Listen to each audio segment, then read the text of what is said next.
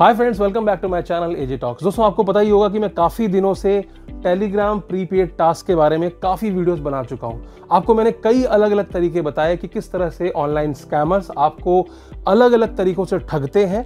शुरुआत में कुछ आपको लालच दिया जाता है, सौ डेढ़ सौ रुपए दे करके, और बाद में आपसे कुछ प्रीपेड टास्क कराए जाते हैं। तो इसके बारे में मैंने डिटेल से काफ़ी वीडियोज़ बनाई हुई हैं। अगर आपने वीडियोज़ नहीं देखी हैं तो डिस्क्रिप्शन में लिंक पड़ी हुई है। मैंने पूरा एक अलग से इसका प्लेलिस्ट भी बना रखा है तो उसमें भी आपको सारी वीडियोस वन बाय वन देखने को मिल जाएँगी। तो किस तरह के टास्क होते हैं, क्या होता है, वो सब मैंने उसमें एक्सप्लेन किया हुआ है। तो आज का जो ये वीडियो बनाने का मुद्दा है, उसके पीछे तीन सवाल अहम हैं, जो कि अक्सर कमेंट्स में लोग मुझसे पूछते हैं। पहला तो ये है कि काफ़ी लोग खुशी ज़ाहिर करते हैं कि भाई मैंने इतने कमा लिए, उतने कमा लिए, क्या कमाना सेफ़ है या नहीं है? मैंने अपना अकाउंट नंबर दे दिया है यूपीआई आईडी दे दी है तो क्या मुझे कोई प्रॉब्लम तो नहीं होगी कल को जाकर के? तो पहला ये मेन सवाल है जिसके बारे में मैं आपसे बात करने वाला हूँ। दूसरा मैं आपसे बात करूँगा कि ये जो पूरा मनी सर्कुलेशन हो रहा है, वो कैसे हो रहा है? क्योंकि अगर आप देखेंगे एक एक ग्रुप में एक एक दिन में वो सौ सौ लोगों को ठग लेते हैं। तो कैसे इतने सारे अकाउंट्स कैसे इतने सारा फंड्स को मैनेज करते हैं, उसके बारे में बात करेंगे। और तीसरा हम बात करने जा रहे हैं, जिसमें मैं आपको बताऊँगा कि मनी म्यूल्स क्या होते हैं और आपको मनी म्यूल बनने से कैसे बचना है। तो ये तीन मेन मुद्दे हैं जिसके बारे में आज हम इस वीडियो में बात करने जा रहे हैं। तो शुरुआत करते हैं अपने पहले टॉपिक से। तो आप देख सकते होंगे कि बहुत सारे लोगों ने कमेंट्स लिखे हैं बहुत खुशी ज़ाहिर की है कि उन्होंने स्कैमर्स को लूट लिया है। तो मेन मुद्दा यह है कि वो काफ़ी खुश इसलिए हैं कि उनको लगता है कि उन्होंने स्कैमर्स को लूट लिया तो पहला कमेंट पढ़ते हैं भाई मैंने उनको स्कैम कर लिया सिक्स हंड्रेड रुपीज़ से। फिर लिखा है I earn seven fifty rupees from scammers अगला कमेंट आया है आ, मैंने भी प्रीपेड टास्क स्किप करके एक हज़ार रुपए कमाए और लेफ़्ट कर दिया। मुझे आज तीन सौ पच्चीस रुपए आ गए। Thank you for making such videos उसके बाद एक भाई ने लिखा है कि I have receive so many calls like this but every time I get one fifty rupees on phone पे बाय द स्कैमर उसके बाद भाई ने लिखा है कि I got four hundred rupees just और मैंने सामने से ब्लॉक कर दिया उनको. इस तरह बहुत सारे कमेंट्स हा हा हा I got one thousand today and didn't pay even one rupees तो इस तरह के बहुत सारे कमेंट्स हैं। किसी ने नौ सौ रुपये कमा लिए, किसी ने सत्ताईस सौ रुपये कमा लिए। तो आप देख सकते हो किसी ने डेढ़ सौ कमा लिया और कई लोगों ने कमाने के बाद ये वीडियो सर्च किया और उसके बाद उनको पता चला कि ये स्कैम है और स्कैम होने की जानकारी के बाद उन्होंने टास्क छोड़ दिया है। एक और कैलकुलेशन पढ़ते हैं जिसमें एक भाई ने, जिनका कि खेल कूद के नाम से अकाउंट है, उन्होंने एक पूरी कैलकुलेशन दी है। तो चलो थोड़ा सा समझते हैं कि आप इससे अधिकतम कितने पैसे कमा सकते हो, यानी कि आप स्कैमर को कितना स्कैम कर सकते हो। तो इन्होंने ज्वाइन किया था मान लीजिए कल ज्वाइन किया इन्होंने शाम को। तो इन्होंने जब वो टेलीग्राम ग्रुप ज्वाइन किया था उस समय 22, 23, 24 ये टास्क चल रहे थे। और आमतौर पर ये टास्क फ्री होते हैं जिसमें कि इनको पचास रुपए पर लाइक के या पर रिव्यू के या जो भी उनका टास्क है उसके फिफ्टी रुपीज़ पर टास्क मिलने वाले थे। तो इनको आज कितने मिल गए? डेढ़ सौ रुपए। साथ में इनको बोनस मिला था डेढ़ सौ का क्योंकि पहली बार जब आपसे अप्रोच करके जो स्कैमर्स आपको अप्रोच करते हैं व्हाट्सएप पे उस समय भी आपसे तीन टास्क कराते हैं। वहाँ का डेढ़ सौ रुपए। तो डेढ़ सौ रुपए तो ज्वाइनिंग बोनस और डेढ़ सौ रुपए जो तीन टास्क जो आखिरी तीन टास्क थे, बाईस, तेईस, चौबीस नंबर के, इसके आपको पे कर दिए। यानी कि तीन सौ आपको मिल गए फ्री ऑफ़ कॉस्ट कल मिल चुके हैं आपको।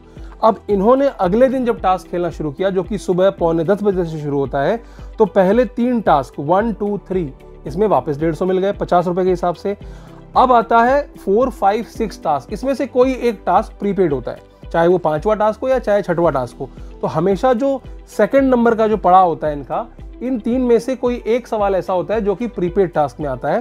तो इनके केस में छठा टास्क था, जो कि एक प्रीपेड टास्क था। इसमें उन्होंने दो हज़ार रुपए पे किए। दो हज़ार रुपए पे करने पे इनको अट्ठाईस सौ रुपए का वादा किया चालीस परसेंट के हिसाब से।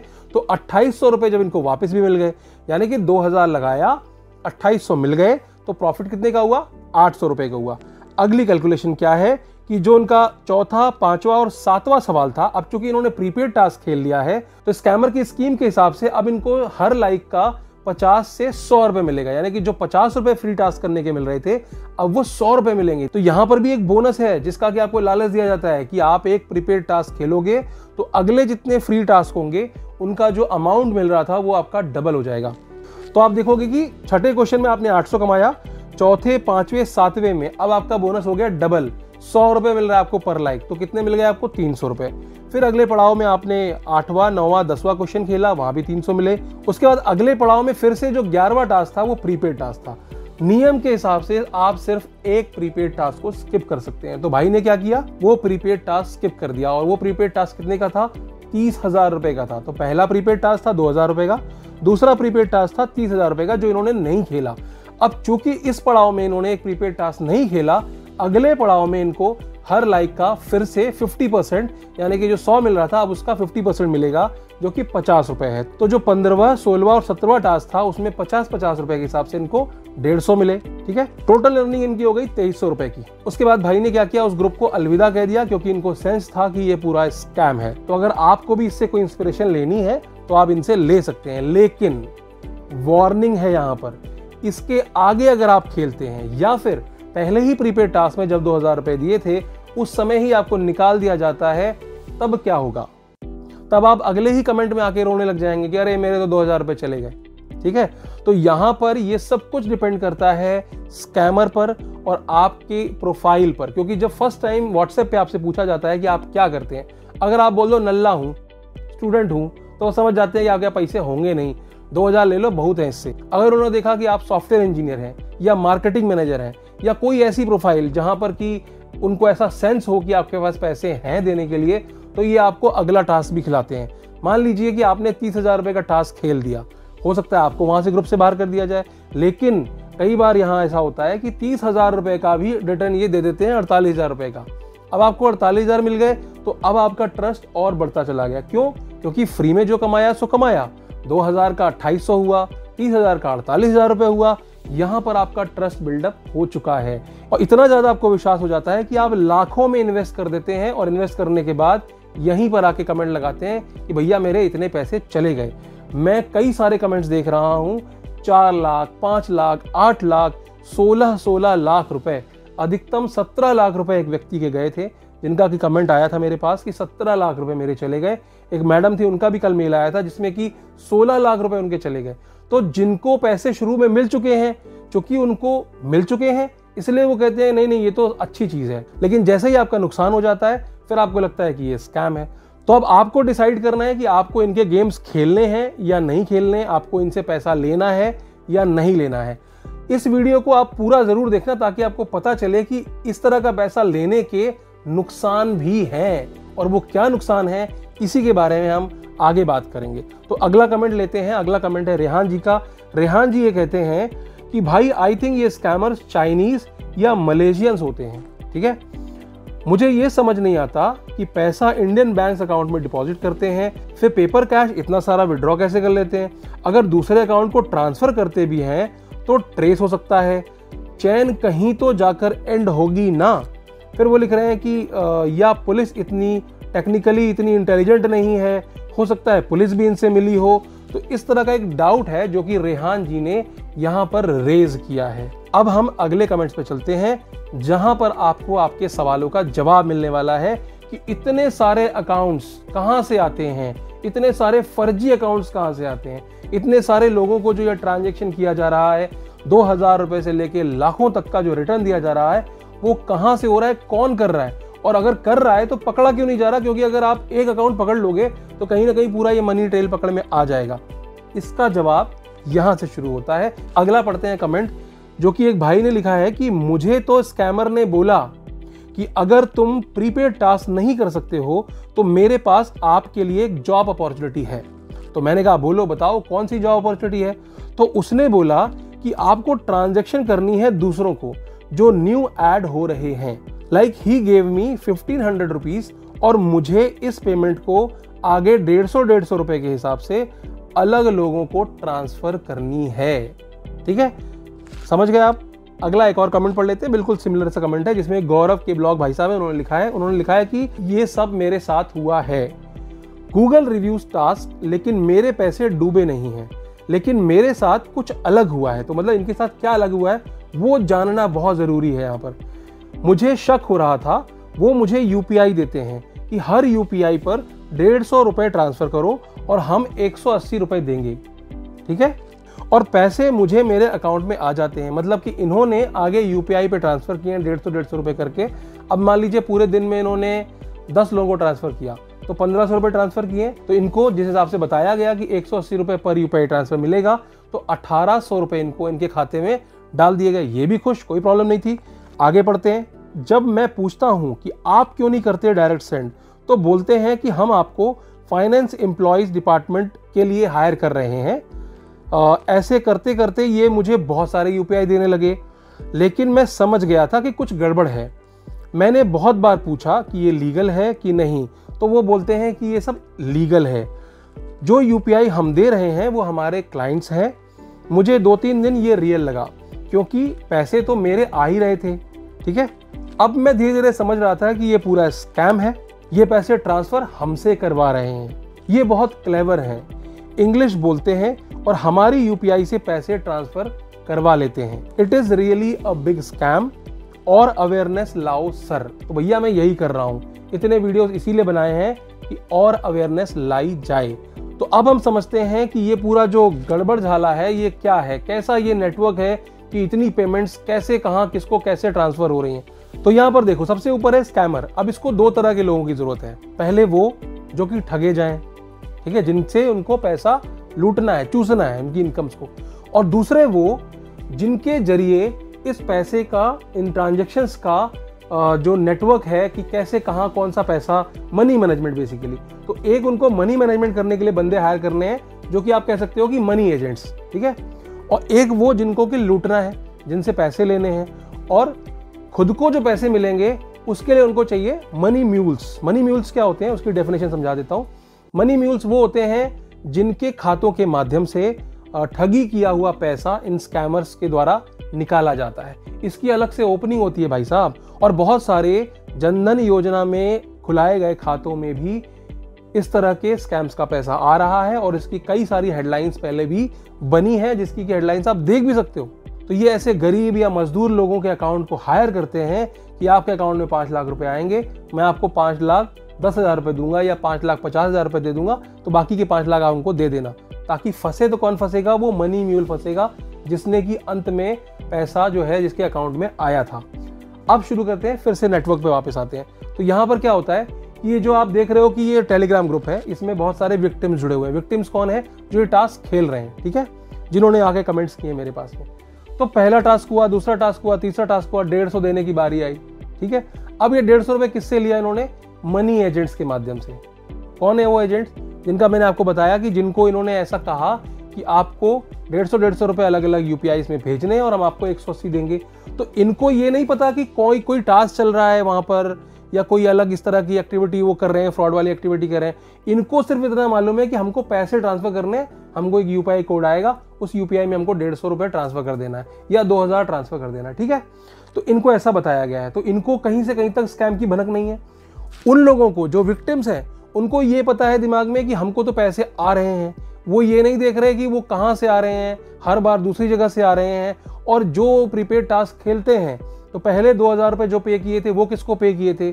अगले जो तीस हज़ार का, जिसने मान लो तीस हज़ार का खेला है, वो तीस हज़ार किसको पे किए हैं? फिर उसका अगला मान लीजिए उसने पाँच लाख पे किए हैं, वो किसको पे किए हैं? तो वो ये भी नहीं देखते। क्यों? क्योंकि जो एजेंट्स हैं, इनको हर बार एक नया क्यूआर दिया जाता है पेमेंट करने के लिए। और वो क्यूआर किसका होता है? इन मनी एजेंट्स का होता है। अब मनी एजेंट्स को वो दो हज़ार रुपये क्यों ट्रांसफ़र हो रहे हैं? क्योंकि उसने डेढ़ सौ डेढ़ सौ करके ऐसे कई सारे विक्टिम्स को पैसे दिए हैं। तो मनी एजेंट्स का काम क्या है? विक्टिम्स को पैसे देना। तो उसने डेढ़ सौ डेढ़ सौ करके दस लोगों को पैसे दिए। अब उन दस में से कोई एक विक्टिम जो दो हज़ार का टास्क खेल जाएगा, वो वो दो हज़ार रुपए इस मनी एजेंट के खाते में ट्रांसफ़र कर देगा। समझ गए आप? तो इसको भी पैसे मिल रहे हैं, उनको भी पैसे मिल रहे हैं। लेकिन स्कैमर का क्या इन्वॉल्वमेंट है यहाँ पर? कुछ भी नहीं। ना तो उसका खाता है, ना उसका कोई फेस है। कहीं कुछ भी रिवील नहीं हो रहा है स्कैमर का। अब ये दोनों लोग आपस में एक दूसरे को नहीं जानते। उधर जो विक्टिम होते हैं, उनको ये लगता है कि ये स्कैमर ये कंपनी है रियल में कोई मार्केटिंग कंपनी है, वो हमें पे कर रही है। वो ये दिमाग नहीं लगा रहे कि ये अलग अलग पेमेंट अलग अलग खाते से क्यों आ रही है या फिर हम जो पेमेंट कर रहे हैं, वो अलग अलग खातों में क्यों कर रहे हैं? अगर कोई आपको मीडिया ग्रुप बताकर ज्वाइन कर रहा है कि मैं ग्लोबल मीडिया प्लेटफॉर्म से बात कर रहा हूँ या मैं ओमनिकॉन से बात कर रहा हूँ या मैं गूगल से बात कर रहा हूँ तो फिर ये जो पैसा हम दे रहे हैं, वो गूगल को क्यों नहीं दे रहे? वो हम अलग अलग लोगों को क्यों दे रहे हैं? मेरे ही केस में अगर ले लिया जाए तो मुझे जो स्कैनर दिया गया था, वो किसी पोल्ट्री फार्म का था। ठीक है? तो पोल्ट्री फार्म कौन है वो? वो भी एक विक्टिम है। वो भी एक मनी एजेंट जिसको कि विक्टिम बनाया है लालच में कि आप सौ रुपए दो, आपको डेढ़ सौ रुपए मिल जाएँगे, एक सौ बीस रुपए मिल जाएँगे। आप किसी के खाते में पैसे ट्रांसफ़र करो जाकर के, हम आपको इतना रिटर्न दे देंगे। उसको तो ये लग रहा है कि भैया हम फाइनेंशियल कंट्रोलर हैं, बैंक हैं हम, लेकिन उसको ये नहीं पता कि साथ में उसके साथ भी स्कैम चल रहा है। तो इस पूरी नेटवर्किंग में अगर आप देखोगे कि जो भी ये पैसे आपस में आदान प्रदान हो रहे हैं, ये सारे पैसे विक्टिम्स और एजेंट्स एजेंट्स को मैं विक्टिम ही बोलूँगा। तो ये सारे आपस में विक्टिम्स ही हैं जो एक दूसरे को पैसा ट्रांसफ़र कर रहे हैं। तो अब स्कैमर को पैसा कहाँ से मिलता है? अब बताता हूँ कि जो बड़ा अमाउंट पे होगा, जो ये दस बीस हज़ार रुपए वाले ट्रांजेक्शन होते हैं, वो ऐसे ही होते हैं, इन्हीं लोगों के बीच में। लेकिन जो बड़ा ट्रांजेक्शन होता है पाँच लाख का, पचास हज़ार का, या मान लो उसी एजेंट को मनी एजेंट को ये कहते हैं कि इतना पैसा आपके अकाउंट में आ गया, अब आपको क्या करना है? उस मनी म्यूल के खाते में डालना है। तो मनी म्यूल के खाते में एक बार पैसा आता है और वो बड़ा अमाउंट आता है। मान लीजिए दस लाख रुपए, ये मनी एजेंट्स के पास दस लाख रुपए इकट्ठा हो गए, इन्होंने उठा के डाल दिया कहाँ पर? उस मनी म्यूल के खाते में। तो एक मनी म्यूल का खाता है, लेकिन यहाँ डेढ़ सौ, दो सौ लोगों को ठग चुके हैं वो। समझ गए आप? तो अब मैं समझाता हूँ कि आपके लिए खतरनाक कैसे है कि अगर आपने डेढ़ सौ रुपए कमाए हैं तो।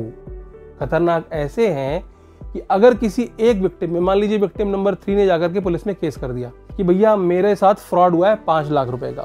अब उसने क्या किया? बैंक में जाकर के एक reversal form money reversal form या रिफंड फॉर्म फिल किया कि मैंने तीन लाख रुपए पे किए थे और मुझे ये रिफंड चाहिए, गलती से पे किए थे। बैंक पुलिस की मदद से जो एफआईआर भी उस विक्टिम ने कर रखी है, उसकी मदद से ये देखती है कि आपने पैसे किसको दिए थे। तो किसको दिए थे आपने पैसे? एजेंट को दिए थे, ठीक है? आपने पैसे किसी स्कैमर को नहीं दिए हैं, आपने एजेंट को दिए हैं पैसे, ठीक है?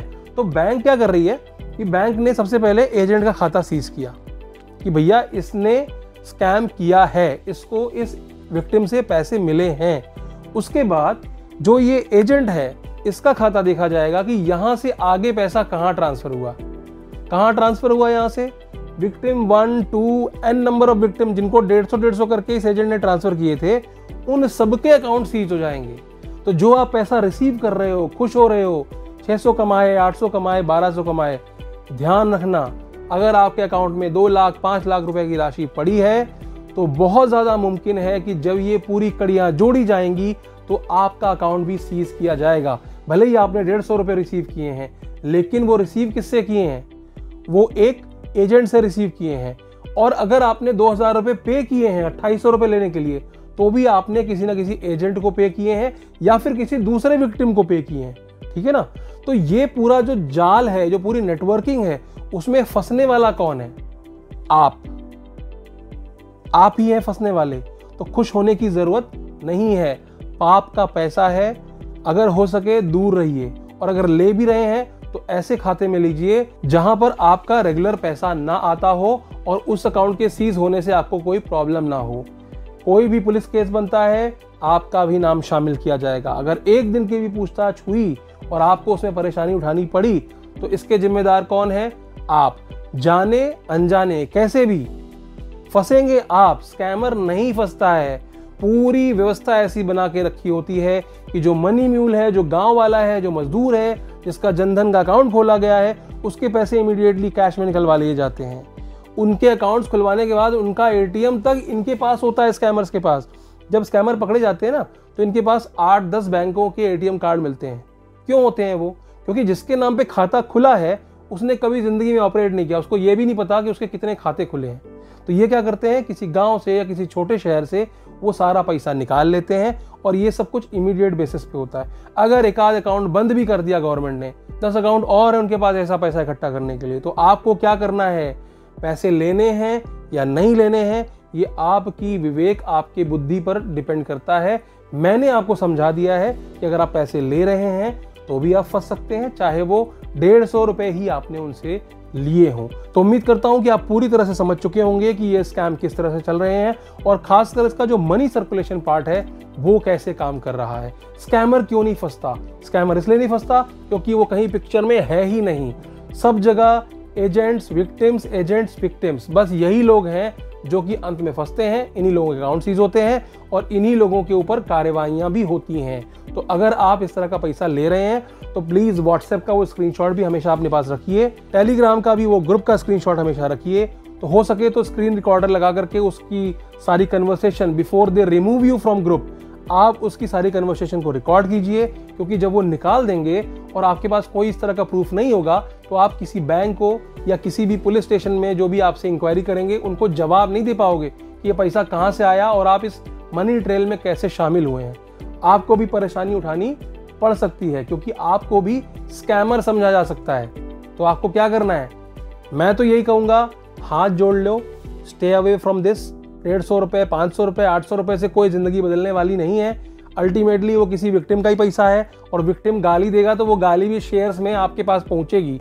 उसकी बदुआएँ भी शेयर्स में आपके पास पहुंचेगी। क्योंकि अगर उसने एक लाख रुपए दिए हैं तो आप जैसे कई सारे लोगों को उस एक लाख रुपए में से डेढ़ सौ डेढ़ सौ, पाँच सौ पाँच सौ का शेयर ज़रूर गया होगा। तो वो जो गालियाँ और बदुआएँ मिलने वाली हैं, वो भी उसी शेयर में, उसी अनुपात में आप लोगों तक ट्रांसफ़र हो जाएँगी। समझ रहे हैं आप? तो आज के लिए सिर्फ़ इतना ही। फिर मिलेंगे एक नए वीडियो में, एक नए टॉपिक के साथ। वीडियो को अंत तक देखने के लिए आपका बहुत बहुत शुक्रिया। और सबसे इंपॉर्टेंट चीज़ जो मैं हमेशा कहता हूँ चैनल पर नए हैं, सब्सक्राइब कीजिए और अगर अपने रिश्तेदारों और दोस्तों का भला चाहते हैं, आपके साथ चाहे ये स्कैम हो चुका हो, चाहे ना हो चुका हो, चाहे आप बच गए हो, लेकिन उनका भला तो चाहो, जो आपके शुभ चिंतक हैं, जो आपके मित्र हैं, उन तक तो इसको शेयर करो।